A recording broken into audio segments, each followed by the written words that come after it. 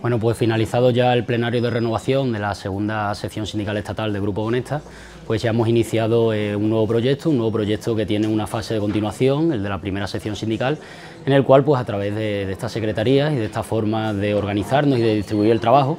pretendemos poder llegar mejor a todos los trabajadores de la empresa del Grupo Conecta y asimismo pues poder eh, enfatizar el trabajo de los delegados a través, de también traducido a través de los afiliados que tengamos en Grupo Conecta para poder lograr un beneficio todos los días.